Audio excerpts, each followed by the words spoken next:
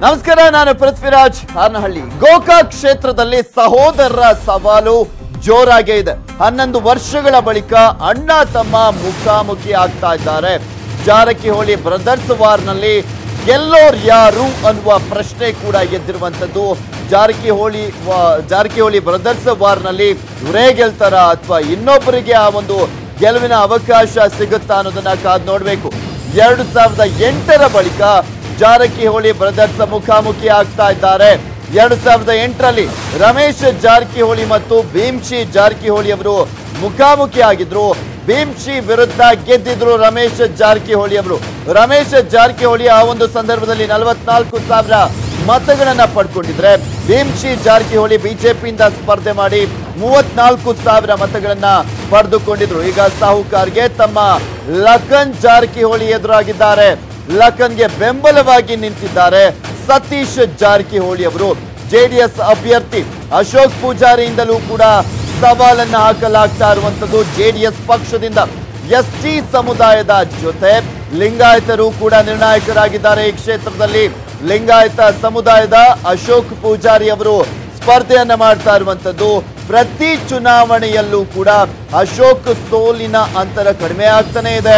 ಎರಡ್ ಸಾವಿರದ ಎಂಟರಲ್ಲಿ ಏಳು ಸಾವಿರ ಮತಗಳ ಅಂತರದಲ್ಲಿ ಸೋಲನ್ನ ಕಂಡಿದ್ರು. ಅದಾದ್ಮೇಲೆ ಇಪ್ಪತ್ತೆಂಟು ಸಾವಿರ ಮತಗಳ ಅಂತರದಲ್ಲಿ ಸೋಲನ್ನ ಕಂಡಿದ್ದಂಥವರು, ಕಳೆದ ಎರಡ್ ಸಾವಿರದ ಹದಿನೆಂಟರಲ್ಲಿ ಹದಿನೈದು ಸಾವಿರ ಚಿಲ್ಲರ ಮತಗಳ ಅಂತರದಲ್ಲಿ ಸೋಲನ್ನ ಕಂಡಿದ್ರು. ಅಶೋಕ್ ಪೂಜಾರಿ ಅವರು ಅವರೇ ಈಗ ದೊಡ್ಡ ಮಟ್ಟದ ಸವಾಲಾಗಿದ್ದಾರೆ. ರಮೇಶ್ ಜಾರಕಿಹೊಳಿ ಅವರಿಗೆ ಸಾಹುಕಾರ್ಗೆ ಗೆಲುವು ಅಂದುಕೊಂಡಷ್ಟು ಸುಲಭವಾಗಿಲ್ಲ. ಒಂದೆಡೆ ಸಹೋದರ, ಮತ್ತೊಂದ್ ಕಡೆ ಅಶೋಕ್ ಪೂಜಾರಿ. ಯಾರ ಕೈ ಹಿಡಿತಾರೆ ಗೋಕಾಕ್ ಮತದಾರರು ಅನ್ನೋದನ್ನ ಕಾದು ನೋಡಬೇಕಾಗಿದೆ.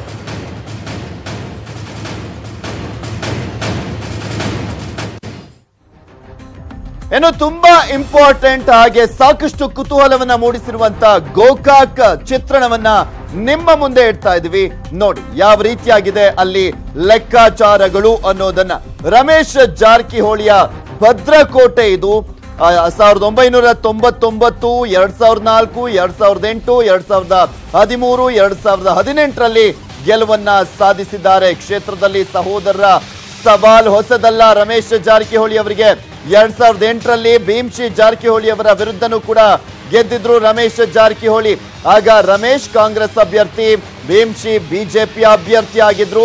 ಆ ಸಂದರ್ಭದಲ್ಲೂ ಕೂಡ ರಮೇಶ್ ವಿರುದ್ಧ ನಿಂತಿದ್ರು ಸತೀಶ್ ಜಾರಕಿಹೊಳಿ. ಕ್ಷೇತ್ರದಲ್ಲಿ ಲಿಂಗಾಯತ ಮತಗಳು ನಿರ್ಣಾಯಕವಾಗಿದ್ದಾವೆ. ಅಶೋಕ್ ಪೂಜಾರಿ ಅವರು ಲಿಂಗಾಯತ ಸಮುದಾಯಕ್ಕೆ ಸೇರ್ತಾರೆ. ಸೊ ಯಾವ ರೀತಿಯಾಗಿ ಇಲ್ಲಿ ಏನಾಗುತ್ತೆ ಅನ್ನೋದನ್ನ ಕಾದ್ ನೋಡ್ಬೇಕು. ಇನ್ನು ಪೂಜಾರಿ ಮತಗಳಿಕೆಯಲ್ಲಿ ಹೆಚ್ಚಳ ಆಗ್ತಾನೆ ಇದೆ. ಪ್ರತಿ ಚುನಾವಣೆಯಲ್ಲೂ ಕೂಡ ಮತಗಳಿಕೆ ಜಾಸ್ತಿ ಆಗ್ತಾ ಇರುವಂತದ್ದು. ಎರಡ್ ಸಾವಿರದ ಎಂಟರಲ್ಲಿ ಮೂವತ್ತೇಳು ಸಾವಿರ ಮತಗಳನ್ನ ಪಡ್ಕೊಂಡಿದ್ರು. ರಮೇಶ್ ಜಾರಕಿಹೊಳಿ ನಲವತ್ನಾಲ್ಕು ಸಾವಿರ ಮತಗಳನ್ನ ಪಡ್ಕೊಂಡಿದ್ರು. ಎರಡ್ ಸಾವಿರದ ಹದಿಮೂರರಲ್ಲಿ ಐವತ್ತೊಂದು, ರಮೇಶ್ ಜಾರಕಿಹೊಳಿ ಎಪ್ಪತ್ತೊಂಬತ್ತು ಸಾವಿರ ಮತಗಳನ್ನ ಪಡ್ಕೊಂಡಿದ್ರು. ಎರಡ್ ಸಾವಿರದ ಹದಿನೆಂಟರಲ್ಲಿ ಅಶೋಕ್ ಪೂಜಾರಿ ಎಪ್ಪತ್ತೈದು ಸಾವಿರ, ಇಲ್ಲಿ ತೊಂಬತ್ತು ಸಾವಿರ ಮತಗಳನ್ನ ರಮೇಶ್ ಜಾರಕಿಹೊಳಿ ಅವರು ಪಡೆದಿರ್ತಾರೆ. ಕ್ಷೇತ್ರದಲ್ಲಿ ಲಿಂಗಾಯತ ಪ್ರಾಬಲ್ಯ ಇದೆ. ಸೊ ಹೀಗಾಗಿ ಲಿಂಗಾಯತ ಮತದಾರರು ಯಾರನ್ನ ಬೆಂಬಲಿಸ್ತಾರೆ ಅನ್ನೋದು ಕೂಡ ಸಾಕಷ್ಟು ಕುತೂಹಲಕ್ಕೆ ಎಡೆ ಮಾಡಿಕೊಟ್ಟಿದೆ ಇಲ್ಲಿ ಲಖನ್ ಈಗ ಎದುರಾಳಿ ಆಗಿದ್ದಾರೆ. ರಮೇಶ್ ಜಾರಕಿಹೊಳಿ ಅವರಿಗೆ ಲಖನ್ ಸ್ಪರ್ಧೆ ಯಾವ ರೀತಿಯಾಗಿ ಹೊಡೆತ ಕೊಡ್ಬೋದು? ಅಶೋಕ್ ಪೂಜಿ ಅವ್ರ ಅಶೋಕ್ ಪೂಜಾರಿ ಅವರ ಸ್ಪರ್ಧೆ ಯಾವ ರೀತಿಯಾಗಿ ಹೊಡೆತ ಕೊಡ್ಬೋದು ಅನ್ನೋದನ್ನ ಕಾದು ನೋಡ್ಬೇಕಾಗಿದೆ. ಬಾಲಚಂದ್ರ ಹೊರತಾಗಿ ಇನ್ನೆಲ್ಲರೂ ಕೂಡ ಲಖನ್ ಜಾರಕಿಹೊಳಿಯ ಪರವಾಗಿ ನಿಂತಿದ್ದಾರೆ. ಸಹೋದರರು ಸೊ ಹೀಗಾಗಿ ರಮೇಶ್ ಜಾರಕಿಹೊಳಿ ಈ ಬಾರಿ ಯಾವ ರೀತಿಯಾಗಿ ಗೆಲ್ತಾರೆ ಅನ್ನೋದನ್ನ ಸಾಕಷ್ಟು ಕುತೂಹಲದಿಂದ ಮತದಾರರು, ಗೋಕಾಕ್ನ ಮತದಾರರೇ ಕಾದು ನೋಡ್ತಾ ಇರುವಂತದ್ದು ಕುತೂಹಲಕ್ಕೆ ಜಾಸ್ತಿ ಆಗ್ತಾನೆ ಇದೆ. ದಿನದಿಂದ ದಿನಕ್ಕೆ ಐದು ಬಾರಿ ಗೆದ್ದಿರುವಂತಹ ರಮೇಶ್ ಜಾರಕಿಹೊಳಿ ಆರನೇ ಬಾರಿ ಗೆಲ್ತಾರಾ ಅನ್ನುವ ಪ್ರಶ್ನೆಗೆ ಉತ್ತರ ಸಿಗಬೇಕಾಗಿದೆ. ಇನ್ನು ಈ ಕುರಿತಂತೆ ಹೆಚ್ಚಿನ ಡೀಟೇಲ್ಸ್ ಅನ್ನ ನೀಡ್ತಾರೆ ನಮ್ಮ ಪ್ರತಿನಿಧಿ ಲೋಹಿತ್ ದೂರವಾಣಿ ಸಂಪರ್ಕದಲ್ಲಿದ್ದಾರೆ. ಎಸ್ ಲೋಹಿತ್, ಈ ಬಾರಿನೂ ಕೂಡ ಅಶೋಕ್ ಪೂಜಾರಿ ಎದುರಾಳಿ. ರಮೇಶ್ ಜಾರಕಿಹೊಳಿ ಅವರಿಗೆ ಇನ್ನು ಒಂದ್ ಕಡೆ ಸಹೋದರ ಸವಾಲನ್ನ ಹಾಕ್ತಾ ಇರುವಂತದ್ದು ಯಾವ ರೀತಿಯಾಗಿದೆ ಗೋಕಾಕ್ನ ಗ್ರೌಂಡ್ ರಿಪೋರ್ಟ್ ಹೌದು ಪೃಥ್ವಿರಾಜ್, ಏನಂತಂದ್ರೆ ಗೋಕಾಕ್ ಈಗ ಸದ್ಯಕ್ಕೆ ಹೈ ವೋಲ್ಟೇಜ್ ಮ್ಯಾಚ್ ಆಗಿ ಕನ್ವರ್ಟ್ ಆಗಿರ್ತಕ್ಕಂಥದ್ದು. ಯಾಕಂತಂದ್ರೆ ಇಲ್ಲಿ ಪಕ್ಷಗಳಕ್ಕಿಂತ ಹೆಚ್ಚಿನದಾಗಿ ಏನಂತಂದ್ರೆ ಸಹೋದರರು ಒಬ್ರಿಗೊಬ್ರು ಏಕ ಎದುರಾಗಿ ನಿಂತಿರ್ತಕ್ಕಂಥದ್ದು. ಈ ಹಿಂದೆ ಏನ್ ನಾಲ್ಕು ಚುನಾವಣೆಗಳಾದವು ಅಂತ ಒಂದು ಸಂದರ್ಭದಲ್ಲಿ ಲಖನ್ ಜಾರಕಿಹೊಳಿನೇ ಸ್ವತಃ ರಮೇಶ್ ಬೆನ್ನಿಗೆ ನಿಂತು ರಮೇಶ್ ಗೆಲುವಿಗೆ ಸಹಾಯ ಆಗ್ತಾ ಇದ್ರು. ಏನ್ ರಮೇಶ್ ಜಾರಕಿಹೊಳಿ ಸ್ಟ್ರಾಟಜಿಗಳನ್ನ ಮಾಡ್ತಾ ಇದ್ರು ಆ ಎಲ್ಲ ಸ್ಟ್ರಾಟಜಿಗಳಿಗೂ ಕೂಡ ಲಖನ್ ಜಾರಕಿಹೊಳಿ ಸಾಥ್ ನೀಡ್ತಾ ಇದ್ರು. ಅದಕ್ಕೆ ಸಪೋರ್ಟಿವ್ ಆಗಿ ಬೇರೆ ಬೇರೆ ಸ್ಟ್ರಾಟಜಿಗಳನ್ನ ಇವರು ಕೂಡ ಮಾಡ್ತಾ ಇದ್ರು. ಸೊ ಅಂತ ಒಂದು ಈ ಪರಿಸ್ಥಿತಿಯಲ್ಲಿ ಈಗ ಎಂತ ಪರಿಸ್ಥಿತಿ ಆಗಿದೆ ಅಂತಂದ್ರೆ ಆ, ಇಬ್ರು ಕೂಡ ಏನಂತಂದ್ರೆ ಎದುರಾಳಿ ಆಗಿರ್ತಕ್ಕಂಥದ್ದು. ಕಾಂಗ್ರೆಸ್ ಇಂದ ಲಖನ್ ಜಾರಕಿಹೊಳಿ ಸಾಕಷ್ಟು ಪ್ರಬಲ ಪೈಪೋಟಿಯನ್ನು ನೀಡ್ತಾ ಇದ್ರೆ ಲಖನ್ ಬೆನ್ನಿಗೆ ಇನ್ನೊಬ್ಬ ಸಹೋದರನ ಈಗ ಸಪೋರ್ಟ್ ಕೂಡ ಸಿಕ್ಕಿರ್ತಕ್ಕಂಥದ್ದು. ಅದು ಏನಂತಂದ್ರೆ ಸತೀಶ್ ಜಾರಕಿಹೊಳಿ. ಸತೀಶ್ ಜಾರಕಿಹೊಳಿ ಕೂಡ ಏನಂತಂದ್ರೆ ಈಗ ಈ ಕ್ಷೇತ್ರದಲ್ಲಿ ಏನಂತಂದ್ರೆ ಕಂಟೆಸ್ಟ್ ಮಾಡಿ ಈ ಒಂದು ಕ್ಷೇತ್ರ ಅವರಿಗೆ ಪರಿಚಿತ ಇರತಕ್ಕಂಥದ್ದು. ಸಾಕಷ್ಟು ಸ್ಟ್ರಾಟಜಿಗಳನ್ನ ಮಾಡಿ ಲಕ್ಕನ್ ಜಾರಕಿಹೊಳಿ ಗೆಲ್ಲಿಸಲೇಬೇಕು ಅಂತಕ್ಕಂಥ ಭಾವನೆಯನ್ನ ಇಟ್ಕೊಂಡು ಸತೀಶ್ ಮತ್ತೆ ಲಕ್ಕನ್ ಇಬ್ರು ಒಂದ್ ಕಡೆ ಆದ್ರೆ ಇತ್ತ ರಮೇಶ್ ಜಾರಕಿಹೊಳಿ ಈಗ ಒಬ್ಬಟ್ಟಿಯಾಗಿರ್ತಕ್ಕಂಥದ್ದು. ರಮೇಶ್ ಕೂಡ ಸಾಕಷ್ಟು ಸ್ಟ್ರಾಟಜಿಗಳನ್ನ ಮಾಡ್ತಾ ಇದ್ದಾರೆ. ಅದ್ರ ಜೊತೆಗೆ ಏನಂತಂದ್ರೆ ಸಾಹುಕಾರರಿಗೆ ಇನ್ನೊಂದು ತೆಲೆನೋವು ಆಗಿರ್ತಕ್ಕಂಥದ್ದು ಅದು ಅಶೋಕ್ ಪೂಜಾರಿ. ಯಾಕಂತಂದ್ರೆ ಬಿಜೆಪಿಯಲ್ಲಿ ಇದ್ಕೊಂಡು ಸಾಕಷ್ಟು ಪ್ರಬಲ ಪ್ರಬಲ ಪೈಪೋಟಿಯನ್ನ ನೀಡುತ್ತಾ ಬಂದಿರತಕ್ಕಂಥ ಅಶೋಕ್ ಪೂಜಾರಿ ಈ ಬಾರಿ ಬಿಜೆಪಿಯನ್ನ ಬಿಟ್ಟು ಜೆಡಿಎಸ್ಗೆ ಒಂದು ಜೆಡಿಎಸ್ ಇಂದ ಸ್ಪರ್ಧೆ ಮಾಡಿರ್ತಕ್ಕ ಅದು ಕೂಡ ಈಗ ಸಾಕಷ್ಟು ಟೆನ್ಷನ್ ಈಗ ಸಾಹುಕಾರಿಗೆ ಆಗಿರ್ತಕ್ಕಂಥದ್ದು. ಈ ಹಿಂದೆ ಏನಂತಂದ್ರೆ ಹತ್ತು ವರ್ಷಗಳ ಹಿಂದೆ ಬರೋಬ್ಬರಿ ಏನಂತಂದ್ರೆ ಅವರು ರಮೇಶ್ ಜಾರಕಿಹೊಳಿ ಸಹೋದರ ಏನಂತಂದ್ರೆ ಇಲ್ಲಿ ಒಂದು ಪ್ರಬಲ ಪೈಪೋಟಿಯನ್ನು ನೀಡುತ್ತಾರೆ ಭೀಮ್ಸಿ ಮತ್ತೆ ರಮೇಶ್ ಇಬ್ರು ಕೂಡ ಎರಡ್ ಸಾವಿರದ ಎಂಟರಲ್ಲಿ ಮುಖಾಮುಖಿ ಆಗಿರ್ತಾರೆ. ಆದ್ರೆ ಇಲ್ಲಿ ಏನಂತಂದ್ರೆ, ಆ, ಲಖನ್ ಮತ್ತೆ ರಮೇಶ್ ಇಬ್ರು ಕೂಡ ಒಟ್ಟಿಗೆ ಇದ್ದಿರ್ತಕ್ಕಂಥ ಸಂದರ್ಭದಲ್ಲಿ ಅಲ್ಲಿ ರಮೇಶ್ ಜಾರಕಿಹೊಳಿಗೆ ಈ ಗೆಲುವು ಈಸಿಯಾಗಿರುತ್ತೆ. ಸೊ ಇಂತ ಈ ಎಲ್ಲವನ್ನು ನೋಡಿದಾಗ ಏನಂತಂದ್ರೆ, ಈಗ ಈ ಬಾರಿ ಏನಂತಂದ್ರೆ ಇಡೀ ಒಂದು ಚಿತ್ರ ಚಿತ್ರಣ ಏನಿದೆ ಟ್ರಯಾಂಗಲ್ ಆಗಿ ಇಲ್ಲಿ ಕನ್ವರ್ಟ್ ಆಗಿರ್ತಕ್ಕಂಥದ್ದು. ಇತ್ತ ಏನಂತಂದ್ರೆ ಗೋಕಾ ಕ್ಷೇತ್ರದಲ್ಲಿ ಸಾಕಷ್ಟು ಏನಂತಂದ್ರೆ ಲಿಂಗಾಯತ ಮತದಾರರು ತಮ್ಮ ಪ್ರಾಬಲ್ಯವನ್ನ ಹೊಂದಿದ್ದಾರೆ. ಲಿಂಗಾಯತ ಮತದಾರರ ಪ್ರ- ಪ್ರಾಬಲ್ಯ ಈಗ ತಗ್ಗು ತಗ್ಗಿಸುತ್ತಾ ಬಂದಿರ್ತಾ ಬರ್ತಾ ಇದ್ರು. ಆದ್ರೆ ಈ ಬಾರಿ ಏನಂತಂದ್ರೆ ಇಬ್ಬರ ಸಹೋದರರು ಜಗಳ, ಜಗಳವಾಡ್ಕೊಂಡು ಇಬ್ರು ಏನಂತಂದ್ರೆ, ಮತಗಳನ್ನ ವಿಂಗಡಣೆ ಮಾಡಿ ಎಲ್ಲಿ ಲಿಂಗಾಯತ ಮತದಾರರು ಒಕ್ಕೂಡ್ತಾರೆ ಅಂತಕ್ಕಂಥ ಭಯ ಈಗ ರಮೇಶ್ ಜಾರಕಿಹೊಳಿಗೂ ಈಗ ಕಾಡ್ತಾ ಇದೆ. ಯಾಕಂತಂದ್ರೆ ಅಶೋಕ್ ಪೂಜಾರಿ ಏನಂತಂದ್ರೆ ಈಗ ಲಿಂಗಾಯತ ಪ್ರಬಲ ಮತ ಮತದ, ಏನ್ ಲಿಂಗಾಯತ ಕಮ್ಯುನಿಟಿಗೆ ಸೇರಿದ ಸೇರಿರುವ ವಿಚಾರವಾಗಿ ಈಗ ಆ- ಒಂದು ವಿಚಾರ ಈಗ ಅವ್ರಿಗೆ ಸಾಕಷ್ಟು ಟೆನ್ಷನ್ ಅನ್ನ ಕೂಡಿರ್ತಕ್ಕಂಥದ್ದು ಯಾಕಂತಂದ್ರೆ ಕಾಂಗ್ರೆಸ್ ಮತಗಳು ಈಗ ಡಿವೈಡ್ ಆಗ್ತವೆ. ಬಿಜೆಪಿ ಮತಗಳು ಕ್ರೋಢೀಕರಣಗೊಳ್ತವೆ ಅಂತ ಅಂತ ಒಂದು ವಿಚಾರವನ್ನ ಇಟ್ಕೊಂಡಿದ್ರು. ಲಖನ್ ಜಾರಕಿಹೊಳಿಗೆ ಟಿಕೆಟ್ ಸಿಗಲ್ಲ ಅನ್ನುವಂತ ಮಾತನ್ನ ಹೇಳ್ತಾ ಇದ್ರು. ಆದ್ರೆ ಇಲ್ಲಿ ಏನಂತಂದ್ರೆ, ಆ ಗೋಕಾಕ್ ಕ್ಷೇತ್ರದ ಜನ ಸುಮಾರು ನಾಲ್ಕು, ಇಪ್ಪತ್ತು ವರ್ಷಗಳಿಂದ ಕೂಡ ಏನಂತಂದ್ರೆ ಈ ಬರೀ ಸಹೋದರ ಕಾಳಗವಣೆ ನೋಡುತ್ತಾ ಬಂದಿದ್ದಾರೆ. ಈ ಬಾರಿ ಏನಾದ್ರೂ ಆ ಮತದಾರರು ಮನಸ್ಸು ಮಾಡಿದ್ರೆ ಈ ಬಾರಿ ಒಂದು ಚಿತ್ರಣ ಸಂಪೂರ್ಣವಾಗಿ ಚೇಂಜ್ ಆಗುತ್ತೆ. ಆ ಒಂದು ವಿಚಾರವಾಗಿ ಕ್ಷೇತ್ರ ಗೋಕಾಕ್ ಕ್ಷೇತ್ರ ತುಂಬಾ ಪ್ರಮುಖವಾದಂತದ್ದು ಸರ್ಕಾರ ಬಿಜೆಪಿ ಸರ್ಕಾರ ಬರಲಿಕ್ಕೆ ಗೋಕಾಕ್ ಕ್ಷೇತ್ರ ತುಂಬಾ ಪ್ರಾಮುಖ್ಯತೆಯನ್ನ ಪಡೆದುಕೊಂಡಿತ್ತು ರಮೇಶ್ ಜಾರಕಿಹೊಳಿ ಅವರಿಂದ. ಸೊ ಬಿಜೆಪಿ ಏನ್ ಸ್ಟ್ರಾಟಜಿಯನ್ನ ರೂಪಿಸ್ತಾ ಇದೆ ರಮೇಶ್ ಜಾರಕಿಹೊಳಿ ಅವರನ್ನ ಗೆಲ್ಲಿಸ್ಕೊಂಡು ಬರೋದಕ್ಕೆ? ಈಗಾಗಲೇ ಪೃಥ್ವಿರಾಜ್ ಏನಂತಂದ್ರೆ ಬಿಜೆಪಿಯ ಸಾಕಷ್ಟು ಏನಂದ್ರೆ ಸ್ಟಾರ್ ಕ್ಯಾಂಪೇನರ್ ಗಳನ್ನ ಹಾಕಿ ಅಲ್ಲಿ ಏನಂತಂದ್ರೆ ಮತ ಕ್ರೋಢೀಕರಣಕ್ಕೆ ಮುಂದಾಗಿದೆ. ಅದ್ರ ಜೊತೆಗೆ ಏನಂತಂದ್ರೆ ಪ್ರಮುಖವಾಗಿ ಇರತಕ್ಕಂತ ಲಿಂಗಾಯತ ನಾಯಕರನ್ನ ಇಲ್ಲಿ ಒಂದು ಸ್ಟಾರ್ ಕ್ಯಾಂಪೇನರ್ ಆಗಿ ಮಾಡಿರ್ತಕ್ಕಂಥದ್ದು. ಇದೇ ಒಂದು ಬಿಜೆಪಿಯ ಪ್ರಮುಖ ಸ್ಟ್ರಾಟಜಿ ಅಂತಾನೆ ಹೇಳ್ಬೋದು.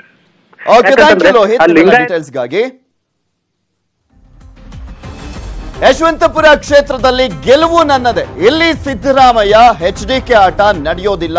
ನ್ಯೂಸ್ ಏಟೀನ್ಗೆ ಎಸ್ ಟಿ ಸೋಮಶೇಖರ್ ಅವರು ಹೇಳಿಕೆಯನ್ನ ಕೊಟ್ಟಿದ್ದಾರೆ. ಅನರ್ಹ ಶಾಸಕ ಬಿಜೆಪಿ ಅಭ್ಯರ್ಥಿ ಸೋಮಶೇಖರ್ ಅವರು ನ್ಯೂಸ್ ಏಟೀನ್ ಜೊತೆ ಮಾತನಾಡಿದ್ದಾರೆ.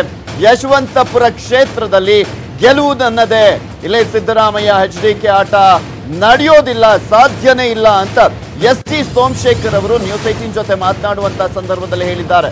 ಸಿಎಂ ಹುದ್ದೆ ಕೊಡ್ಲಿಲ್ಲ ಅಂತ ಸಿದ್ದರಾಮಯ್ಯ ಜೆಡಿಎಸ್ ಬಿಟ್ಟು ಬಂದ್ರು.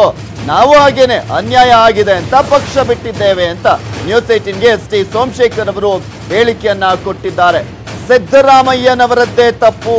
ಅದು ಅವರಿಗೂ ಕೂಡ ಗೊತ್ತಿದೆ. ಈ ಬಾರಿ ನೂರಕ್ಕೆ ನೂರು ಜನ ಬಿಜೆಪಿಯನ್ನ ಗೆಲ್ಲಿಸ್ತಾರೆ ಅಂತ ನ್ಯೂಸ್ ಏಟೀನ್ ಕನ್ನಡಕ್ಕೆ ಸೋಮಶೇಖರ್ ಅವರು ಮಾತನಾಡಿರುವಂತದ್ದು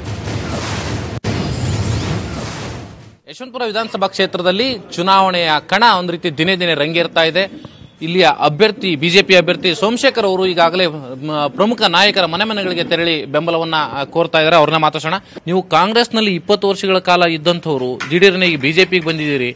ಸೊ ಇಲ್ಲಿ ನೀವು ಒಗ್ಕೊಳ್ತೀರಿ ಅಂತ ಅನಿಸುತ್ತಾ?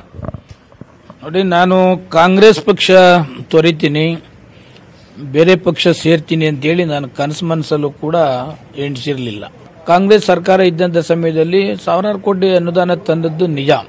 ಅದಾದಮೇಲೆ ಕಳೆದ ಒಂದು ವರ್ಷದಲ್ಲಿ ನಮ್ಮದೇ ಸಮ್ಮಿಶ್ರ ಸರ್ಕಾರ ಇದ್ದಾಗ ನಮ್ಮ ಏರಿಯಾ ಡೆವಲಪ್ಮೆಂಟ್ ಬಗ್ಗೆ ಹಣಕಾಸು ಬಿಡುಗಡೆ ಮಾಡೋದಿರಲಿ ಒಬ್ಬ ಟ್ರಾನ್ಸ್ಫರ್ ಮಾಡಬೇಕಾದ್ರೂ ಹತ್ತಾರು ಸಾರಿ ಹೋಗ್ಬೇಕಾಗ್ತದೆ. ಕುಮಾರಸ್ವಾಮಿ ಅವರು ಕಳೆದ ಬಾರಿ ತಮ್ಮ ಆರೋಗ್ಯ ಸಮಸ್ಯೆಯನ್ನೇ ಮುಂದಿಟ್ಟುಕೊಂಡು ನಿಮ್ಮನ್ನ ಮಣಿಸುವಂತ ಕೆಲಸವನ್ನ ಮಾಡಿದ್ರು. ಈಗ ಮತ್ತೆ ಚುನಾವಣೆ ಬಂದಿದೆ. ಸೊ ತಮ್ಮ ಅಭ್ಯರ್ಥಿಯನ್ನು ಕಣಕ್ಕಿಳಿಸಿದ್ದಾರೆ. ಅವರು ಕೂಡ ಇಲ್ಲಿ ಪ್ರಚಾರಕ್ಕೆ ಬರ್ತಾರೆ. ಸೊ ಹೇಗೆ ಎದುರಿಸ್ತೀರಿ? ನಾನು ಎಷ್ಟು ದಿವಸ ಬದುಕಿರ್ತೀನೋ ಗೊತ್ತಿಲ್ಲ. ಇದೇ ಕೊನೆ ಚುನಾವಣೆ ಅಂತೇಳಿ ಅವರು ಭಾಷಣವನ್ನು ಕೂಡ ಮಾಡಿದ್ರು. ಆ ಸಾರಿ ಅಂಥ ವೇವ್ ಇತ್ತು ಅಂಥ ವೇವಲ್ಲೂ ಕೂಡ ಕ್ಷೇತ್ರದ ಜನತೆ ನನ್ನನ್ನು ಕೈಬಿಟ್ಟಿಲ್ಲ. ಅಲ್ವಾ? ಆದ್ದರಿಂದ ಈ ಸಾರಿ ಎಂಥ ಘಟಾನುಘಟಿಗಳು ಬಂದರೂ ಕೂಡ ಕ್ಷೇತ್ರದ ಜನತೆಗೆ ಗೊತ್ತಿದೆ.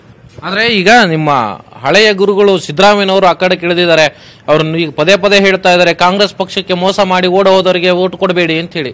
ನೋಡಿ ಅವರು ಸ್ವಲ್ಪ ಹಿಂದಕ್ಕೆ ತಿರುಗಿ ನೋಡಬೇಕು.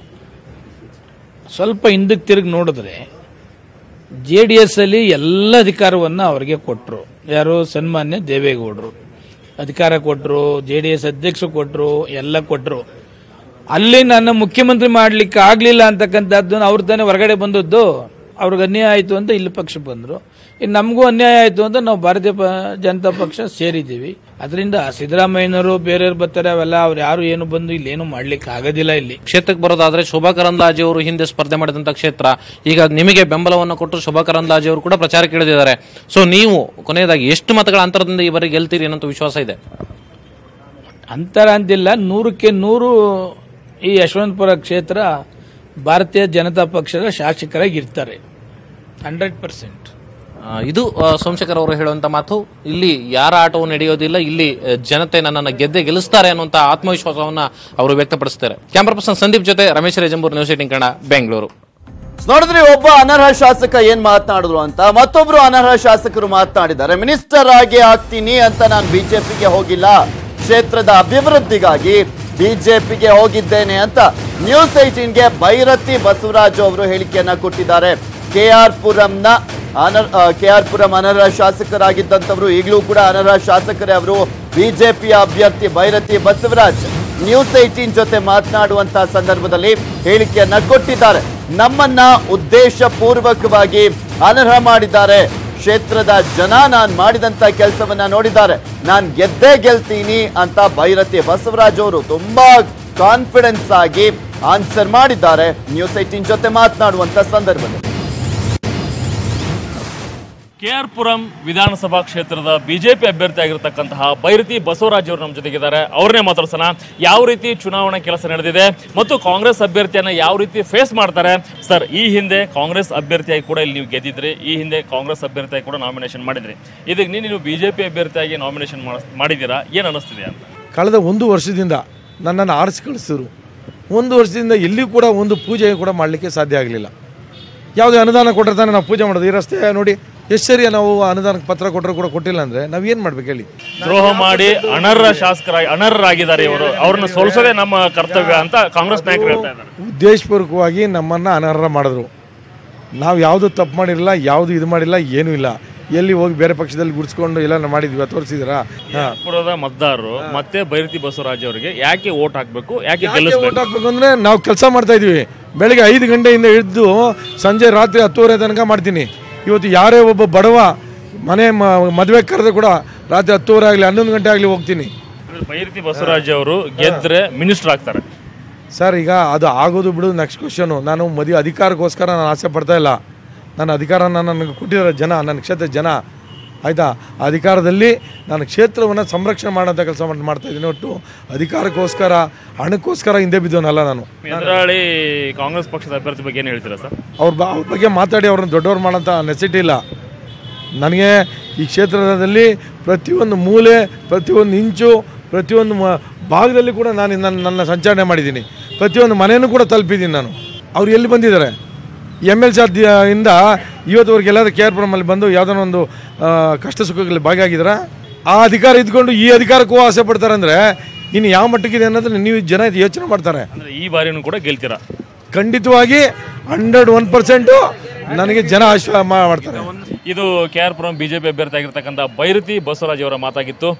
ಶಿವಕುಮಾರ್ ಜೊತೆ ಶ್ರೀನಿವಾಸ ಕಟ್ಟಿ ನ್ಯೂಸ್ ಏಟಿನ್ ಕನ್ನಡ ಬೆಂಗಳೂರು. ಇನ್ನು ಶಿವಾಜಿನಗರ ಕ್ಷೇತ್ರದಲ್ಲಿ ತಮ್ಮ ವಿರುದ್ಧ ಪಿತೂರಿ ಎಂಬ ವಿಚಾರಕ್ಕೆ ಕಾಂಗ್ರೆಸ್ ಅಭ್ಯರ್ಥಿ ರಿಜ್ವಾನ್ ಅರ್ಷದ್ ಅವರು ಪ್ರತಿಕ್ರಿಯೆಯನ್ನು ಕೊಟ್ಟಿದ್ದಾರೆ.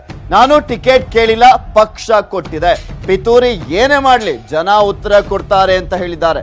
ಇನ್ನ ರೋಷನ್ ಬೇಗ್ ಅವರನ್ನ ರಿಜ್ವಾನ್ ಹೊಗಳಿದ್ದಾರೆ. ಈ ಕ್ಷೇತ್ರ ನಾನು ಹಿಂದೆನೂ ಕೂಡ ಪಾರ್ಲಿಮೆಂಟ್ ಚುನಾವಣೆಯಲ್ಲಿ ಸ್ಪರ್ಧೆ ಮಾಡಿದ್ದೆ. ಇಲ್ಲಿ ಇಲ್ಲಿಗೆ ಶಿವಾಜಿನಗರಲ್ಲಿ ಕಾಂಗ್ರೆಸ್ ಪರವಾಗಿ ನನಗೆ ಜನ ಜಾಸ್ತಿ ಓಟ್ ಹಾಕಿದ್ರು, ಲೀಡ್ ಕೊಟ್ಟಿದ್ರು. ಸೊ ಇವತ್ತು ಕೂಡ ನನಗೆ ಭಾಳ ಒಳ್ಳೆ ರೀತಿಯಲ್ಲಿ ಜನ ಸ್ವಾಗತ ಮಾಡಿದ್ದಾರೆ. ಒಂದು ಯಂಗ್ಸ್ಟರ್ ಅವನು, ಯುವಕ. ಜನ ಭಾಳ ಒಳ್ಳೆ ರೀತಿಯಲ್ಲಿ ಸ್ವಾಗತ ಮಾಡಿದ್ದಾರೆ. ನನಗೆ ಸಂಪೂರ್ಣ ವಿಶ್ವಾಸ ಇದೆ. ನನಗೆ ಆಶೀರ್ವಾದ ಮಾಡಿ ಗೆಲ್ಲಿಸ್ತಾರೆ ಅಂತ. ನಿಶ್ಚಿತವಾಗ್ಲೂ ಗೆಲ್ತೀನಿ. ಈಗ ಡಿ ಕೆ ಶಿವಕುಮಾರ್ ಅವರು ನನ್ನ ಪರವಾಗಿ ಹೇಳಿದ್ದಾರೆ. ದಿನೇಶ್ ಗುಂಡ್ರವರು ನನ್ನ ಪರವಾಗಿ ಹೇಳಿದ್ದಾರೆ. ಬೇರೆ ಭಾಳಷ್ಟು ನಾಯಕರು ನನ್ನ ಪರವಾಗಿ ಹೇಳಿದ್ದಾರೆ. ನಾನು ಈ ಟಿಕೆಟ್ ಕೊಡಲೇಬೇಕು ಅಂತ ಬಯಸಿದವನಲ್ಲ. ಕೊನೆಗೆ ಎಲ್ಲರೂ ಸೇರಿ, ಕೊನೆಗೆ ಇಲ್ಲ ರಿಜ್ವಾನ್ ಆಗಲಿ ಅಂತ ಒಮ್ಮತ್ತಿಂದ ನನಗೆ ಹೇಳಿದ್ದಾರೆ. ಅವ್ರ ಆಶೀರ್ವಾದ, ಜನರ ಆಶೀರ್ವಾದ ಮುಖ್ಯ ಇದೆ.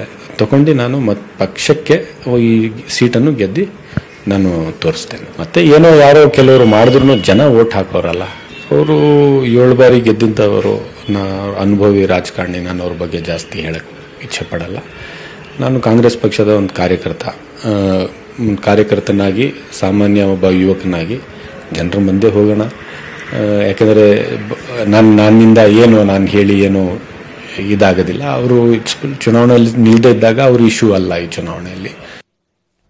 ಇನ್ನೊಂದ್ ಕಡೆ ಎಂ ಟಿ ಬಿ ನಾಗರಾಜ್ ಅವರು ಮಾತನಾಡಿದ್ದಾರೆ. ಬಿ ಎನ್ ಬಚ್ಚೇಗೌಡ ಮತ್ತು ನಾನು ಇಪ್ಪತ್ತು ವರ್ಷಗಳಿಂದ ಪೈಪೋಟಿಯನ್ನ ಮಾಡ್ತಾ ಇದ್ದೇವೆ. ಹಾಗಾಗಿ ಬಿಜೆಪಿ ಸೇರ್ಪಡೆಗೆ ಬಚ್ಚೇಗೌಡರ ಒಪ್ಪಿಗೆಯನ್ನ ಕೇಳಿದೆ ಬಚ್ಚೇಗೌಡರ ಜೊತೆ ಎರಡು ಸುತ್ತು ಮಾತುಕತೆಯ ಬಳಿಕ ರಾಜೀನಾಮೆಯನ್ನ ನೀಡಿದ್ದೇನೆ ಅಂತ ಮತ್ತೊಮ್ಮೆ ಎಂ ಟಿ ಬಿ ನಾಗರಾಜ್ ಅವರು ಹೇಳಿಕೆಯನ್ನ ಕೊಟ್ಟಿರುವಂತದ್ದು ಬಚ್ಚೇಗೌಡರು ಒಪ್ಕೊಂಡ್ಮೇಲೆ ನಾನು ಬಿಜೆಪಿಗೆ ಬಂದಿದ್ದು ಅನ್ನೋದ್ರ ಬಗ್ಗೆ ಮತ್ತೆ ಪುನರುಚ್ಚರಿಸಿದ್ದಾರೆ.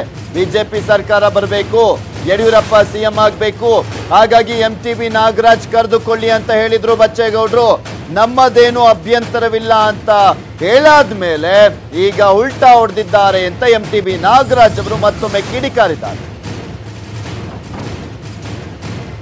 ಶರತ್ ಬಚ್ಚೇಗೌಡ ಸ್ಪರ್ಧೆಯ ವಿಚಾರಕ್ಕೆ ಸಂಬಂಧಪಟ್ಟಂತೆ ಪದೇ ಪದೇ ಆಕ್ರೋಶವನ್ನು ವ್ಯಕ್ತಪಡಿಸ್ತಾ ಇರುವಂತ ಎಂ ಟಿ ಬಿ ನಾಗರಾಜ್ ಅವರು ಬಚ್ಚೇಗೌಡರು ಒಪ್ಕೊಂಡಾದ್ಮೇಲೆ ನಾನು ಬಿಜೆಪಿಗೆ ಬಂದಿದ್ದು ಬಿಜೆಪಿಗೆ ಬಂದು ಇಲ್ಲಿ ಸ್ಪರ್ಧೆಯನ್ನು ಮಾಡ್ತಾ ಇರುವಂತದ್ದು.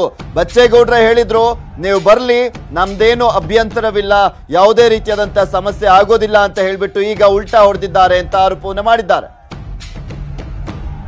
ಹದಿನೈದು ವರ್ಷಗಳಿಂದ ನಾಲ್ಕು ಚುನಾವಣೆಗಳಲ್ಲಿ ಬಚ್ಚೇಗೌಡರು ನಾವು ವಿರೋಪರ ಪರವಿರೋಧವಾಗಿ ಚುನಾವಣೆಗಳು ನಡೆಸಿದ್ದೇವೆ. ಜಿದ್ದಾಜಿದ್ದಿ ಚುನಾವಣೆಗಳು ಅಲ್ಲಿ ನಡೆಸಿದ್ದೇವೆ. ಇವತ್ತು ನಾನೇನಾದರೂ ಆ ಪಕ್ಷಕ್ಕೆ ಬರಬೇಕಾದ್ರೆ ನೀವು ಬಚ್ಚೇಗೌಡರು ಮೊದಲು ಕೇಳಿ. ಅವರೇನಾದರೂ ಒಪ್ಪಿಕೊಂಡ್ರೆ ನಾನು ಖಂಡಿತವಾಗಿ ಬರ್ತೀನಿ ಅಂತ ಹೇಳಿದೆ. ನಾನು ಹದಿನೈದು ವರ್ಷಗಳಿಂದ ಬಾಗಲಕೋಟೆ ಜಿಲ್ಲೆಯಲ್ಲಿ ನಕಲಿ ಅಂಕಪಟ್ಟಿ ಮಾಫಿಯಾ ಜೋರಾಗಿ ನಡೆದಿದೆ. ಅದು ಬನಹಟ್ಟಿಯ ಶಾರದಾ ಶಿಕ್ಷಣ ಸಂಸ್ಥೆಯಿಂದ ವಿತರಣೆ ಮಾಡಿರುವಂತಹ ಆರೋಪ ಈಗ ಕೇಳಿ ಬಂದಿರುವಂತದ್ದು ದೆಹಲಿ ಡಿಮ್ಡ್ ವಿವಿ ಹೆಸರಲ್ಲಿ ನಕಲಿ ಅಂಕಪಟ್ಟಿಯನ್ನ ವಿತರಣೆ ಮಾಡಲಾಗಿದೆಯಾ ಅನ್ನುವ ಪ್ರಶ್ನೆ ಈಗ ಎದ್ದಿದೆ. ಬನಹಟ್ಟಿ ಶಾರದಾ ಸಂಸ್ಥೆಯಿಂದ, ಆ ಒಂದು ಶಿಕ್ಷಣ ಸಂಸ್ಥೆಯಿಂದ ದೆಹಲಿ ಡಿಮ್ಡ್ ವಿವಿ ಹೆಸರಲ್ಲಿ ನಕಲಿ ಅಂಕಪಟ್ಟಿ ವಿತರಣೆ ಮಾಡಲಾಗಿದೆ ಅನ್ನುವ ಆರೋಪ ಕೇಳಿ ಬಂದಿದೆ. ಸ್ನಾತಕೋತ್ತರ ಕಾನೂನು ಪದವಿ ಪಿಎಚ್ ಡಿ ನಕಲಿ ಅಂಕಪಟ್ಟಿಯನ್ನ ನೀಡಲಾಗಿದೆ ಅಂತೆ ನೂರಾರು ಉದ್ಯೋಗಾಕಾಂಕ್ಷಿಗಳಿಗೆ ಭಾರಿ ವಂಚನೆಯನ್ನ ಮಾಡಲಾಗಿದೆ. ಬನಹಟ್ಟಿಯ ಶಾರದಾ ಶಿಕ್ಷಣ ಸಂಸ್ಥೆ ವಿರುದ್ಧ ಆರೋಪ ಕೇಳಿ ಬಂದಿರುವಂತದ್ದು ಶಾರದಾ ಶಿಕ್ಷಣ ಸಂಸ್ಥೆ ಅಧ್ಯಕ್ಷ ಬಸವರಾಜ್ ಗಾಯಕವಾಡ. ಬಸವರಾಜ್ ಶ್ರೀರಾಮ ಸೇನೆ ಸಂಘಟನೆಯ ರಾಜ್ಯ ಉಪಾಧ್ಯಕ್ಷ ಕೂಡ ಆಗಿದ್ದಾರೆ. ಪತ್ನಿ ಜ್ಯೋತಿ ಗಾಯಕವಾಡ ವಿರುದ್ಧವೂ ಕೂಡ ಗಂಭೀರವಾದಂತ ಆರೋಪವನ್ನ ಮಾಡಲಾಗ್ತಾ ಇದೆ. ಉದ್ಯೋಗಾಕಾಂಕ್ಷಿಗಳು ಹೋದಂತಹ ಸಂದರ್ಭದಲ್ಲಿ, ಕೆಲಸಕ್ಕೆ ಹೋದಂತ ಸಂದರ್ಭದಲ್ಲಿ ಇದು ಬಟಾ ಬಯಲಾಗಿದೆ ನಕಲಿ ಅಂಕಪಟ್ಟಿ ಅಂತ.